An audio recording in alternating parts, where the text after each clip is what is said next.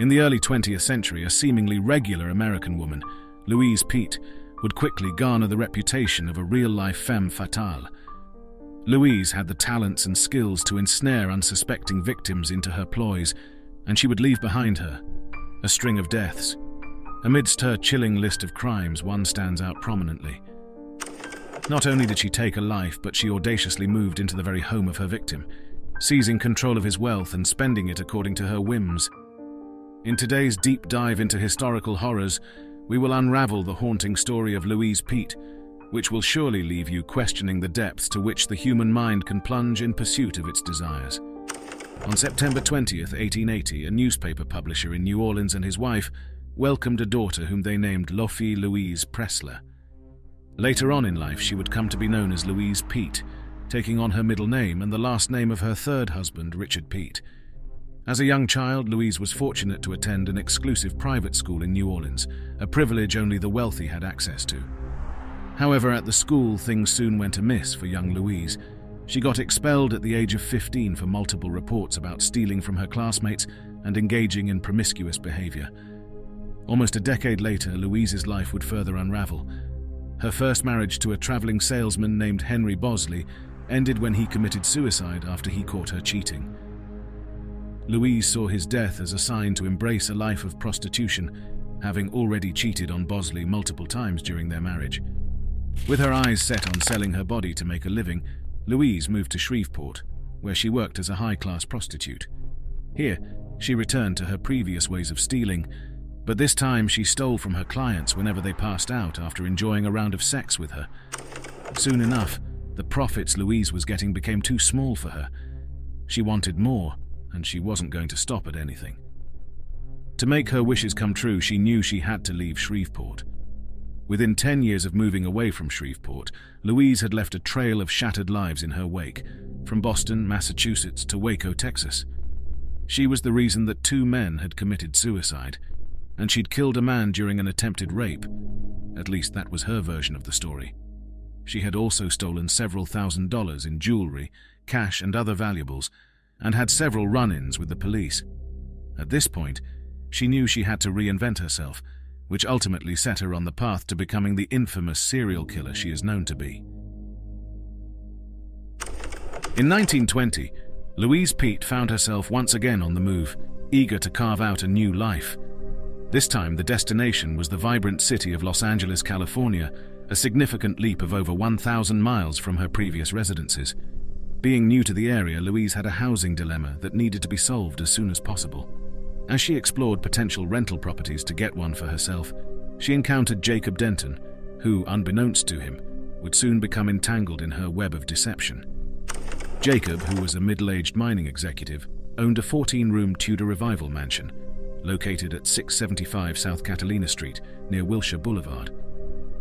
He had hoped to rent his home out for $350 a month while he went on a business trip some months away.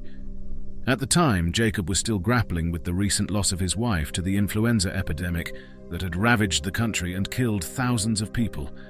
He was now a single father of one daughter, lonely and in need of companionship.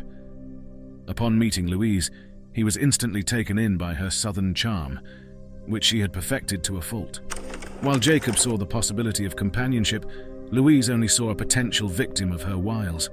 In her eyes, Jacob was the perfect target. He was vulnerable emotionally, meaning she would have it easy working her way into his heart with her cunning manipulation. He was also rich and had a massive home, which would solve her cash flow and housing issues in one stroke. After a conversation about the rental property, an agreement was struck between Louise and Jacob. For the price of $75 a month, other than the initial $350, Jacob allowed Louise to move into his home. This compromise was rumored to have been the result of an agreement that required Louise to be his live-in girlfriend and housekeeper. She later denied this claim on a number of occasions. Within a few days of moving in, Louise and Jacob got closer and closer. Soon, she started making moves for Jacob to marry her. This was a trick she had used a number of times in the past to get direct access to the riches of the men in her life. However, it proved futile on this occasion. No matter how hard she tried, Jacob never accepted her marriage ideas, as he was comfortable with the arrangement they already had. She concealed her annoyance at his rejection and continued to abide by their arrangement. But little did Jacob know that his seemingly harmless act of rejecting Louise would cost him more than he bargained for. On June 2, 1920, a little over a week after Louise moved into the mansion, Jacob disappeared. Shortly thereafter, Louise hired a gardener to transport a load of dirt into the basement. When he asked why she wanted to do so, Louise painted a picture of cultivating mushrooms for culinary purposes, which served as enough reason not to raise any eyebrows from the gardener. Three days later, Louise made a move on Jacob's money. Forging his signature, she visited the bank where he had an account to withdraw $300. She also intended to gain access to his safe deposit box, which presumably contained many valuables. However, Louise's trip to the bank almost took a different turn than she had expected. The official on duty on that day noticed Jacob's signature looked unusual, having compared it with past samples that had been received. Faced with this unexpected scrutiny, Louise devised a narrative on the spot. First, she claimed that Jacob had his right arm amputated after he was shot by an angry, mysterious Spanish-looking woman with whom he had gotten into an argument. She then alleged that the signature looked unusual because she had to help Jacob write checks and sign his name with his left hand. While the story seemed suspicious, Louise's charm and demeanor made the bank official believe her. The check was cashed, and Louise was allowed access to Jacob's security box since she had the key. Emboldened by her theft, Louise began to put into play grander plans to get more of Jacob's money. She withdrew more money from his account in the bank, pawned off his jewelry and possessions to pawn shops, and rented rooms in his mansion to different individuals. Every dime she earned from her illicit act was for her own pleasure. But soon she ran out of money and needed more. Her next move was to convince tenants of Jacob's rental properties to make their rent checks out to her. Using the guise that she was his wife, the tenants saw no need to be suspicious and subsequently made payments to her. Louise also began driving Jacob's Cadillac everywhere she went, and had fully invested herself in the lie that she was his wife. When asked about Jacob's whereabouts, Louise would retell the amputation story in an emotional way and conclude with Jacob being in seclusion as he was too ashamed of his amputated arm. She also claimed that he would come out of hiding once he learned to use his artificial limbs. This excuse only lasted for a short while.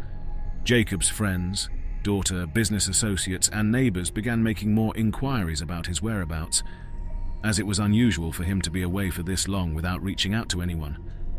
To placate their worries, Louise spun new stories, including one that Jacob was on an extended business trip in various locations. She also promised them that he would return shortly and address all of their concerns about his whereabouts. While others relented on making more inquiries about Jacob, his daughter remained worried and suspicious of Louise's story. Shortly after, she hired an attorney in an effort to find her father who had now been missing for several months. The attorney questioned Louise, trying to see if there were any details that could help locate Jacob. He ended up finding nothing helpful, as Louise claimed that she had no idea where Jacob had traveled to. However, she agreed to forward his financial and business documents as soon as possible to help with the investigation, which she never did. At this point, the pressure was building up on Louise. She was the last person known to have seen Jacob and the only person he was living with at the time of his disappearance. It was obvious to her that her stories were no longer adding up and becoming less and less believable, and soon enough, accusing fingers began to be pointed at Louise with regard to Jacob's disappearance. Rather than remain in this tense situation, Louise decided it was time to move away. Telling no one, she quietly rented out the mansion and ran back to Denver, where she had left an estranged husband, Robert Peete, and a daughter, Betty.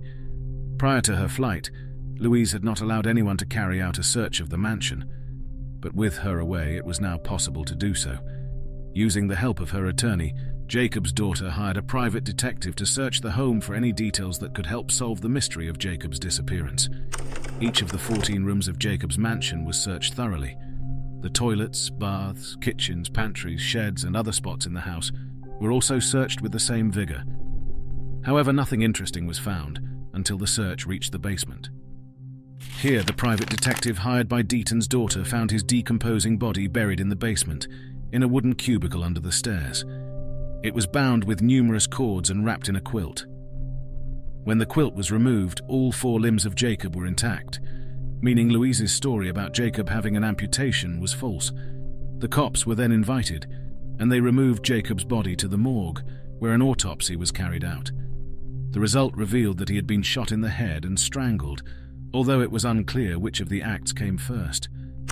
The discovery of Jacob's decomposing body led to an all-out search for Louise.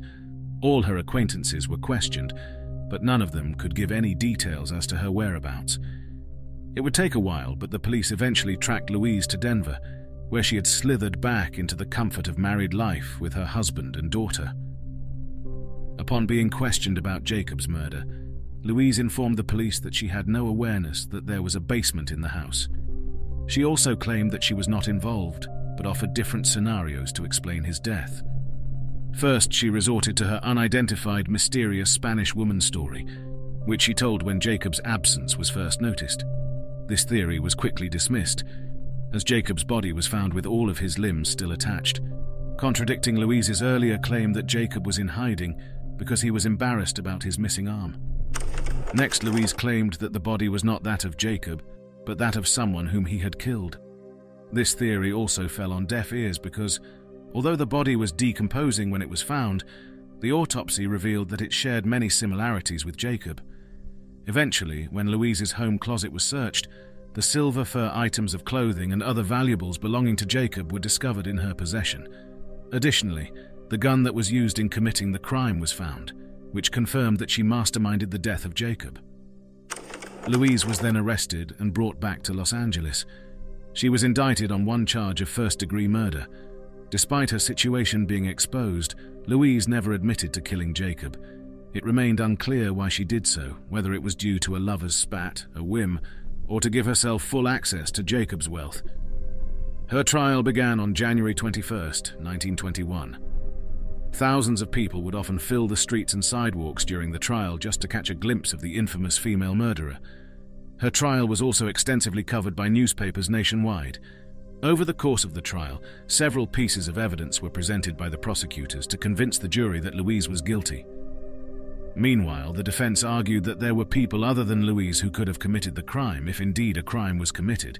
They also claimed that the prosecutor's evidence was largely circumstantial and shouldn't determine the fate of Louise. In his closing remarks, the leading prosecutor in charge of the case asked the jury that extreme measures be applied to punish Louise for her crimes. He said, having proved the defendant guilty of a cold-blooded, premeditated murder, that she shot Jacob like a coward in the back and robbed his body while it was warm, the people of the state of California ask you, gentlemen of the jury, to find her guilty and inflict the extreme penalty of the law. The extreme penalty in this case was to sentence Louise to death. However, the jury chose to be lenient, recommending life imprisonment instead. While Louise did not testify in the trial, she spoke with the press once, saying she was being crucified. Her exact words were, I am being crucified upon a cross. But I can say, as did Christ, Father, forgive them, for they know not what they do. Subsequently, she filed motions for a new trial, hoping to get the judgment evacuated in an appeal.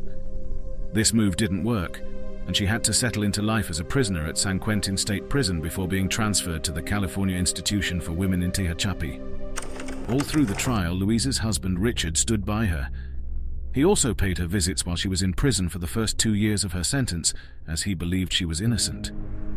However, for unknown reasons, he committed suicide in 1924, leaving their daughter in the care of his family.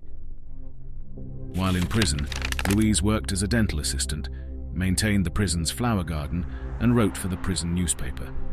All this, including her reputation as a model prisoner, led to something that was not initially possible at the start of her sentencing. After serving 18 long years for killing Jacob, Louise was paroled for good behavior in 1939. Coming out of prison, Louise got married to banker Lee Borden, who had no idea she was previously imprisoned for murder. Soon after, she began working for an elderly couple, Arthur and Margaret, known as the Logan family. But once again, Louise relapsed into her old ways of making up sinister plans. She began telling neighbors that Arthur had fits of rage and physically attacked her and Margaret on several occasions. On June 1, 1944, Margaret disappeared.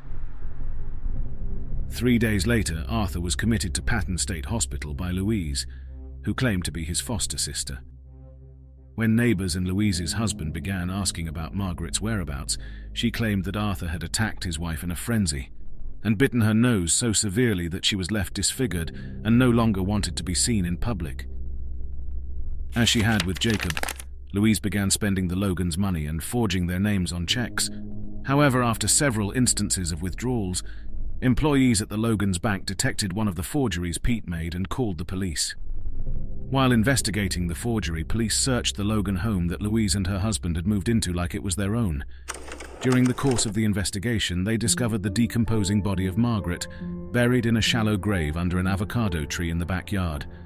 The case of forgery quickly turned into one of murder, as Louise was arrested and charged a few hours after the discovery. Once again, Louise cooked up a new story about not being involved in the murder of Margaret. She claimed that Arthur had killed her during a homicidal frenzy. She then admitted to burying her but said she did not report to the police because of her previous conviction. An autopsy later determined that Margaret had been shot in the back of the neck and had sustained a skull fracture. Despite Louise's denial, all the clues pointed to her, especially because she had taken control of Logan's family money as her own. Upon being taken to jail, Louise's husband Borden killed himself, unable to face the shame of being associated with her. During Louise's trial, there was no recommendation for mercy, as the prosecutor made sure the jury knew about Louise's previous conviction. In no time, she was found guilty again of first degree murder. When it came to sentencing, Louise was given the death penalty. She tried to appeal several times, but it all ended in vain. On the 25th anniversary of Jacob's death, that day finally arrived. Louise was taken out for her final moments before being executed in California's gas chamber. Back in jail, she smiled sadly and once again denied every murder she had committed during her lifetime. Her words were, I have never killed or even harmed a human being, but the truth is elusive.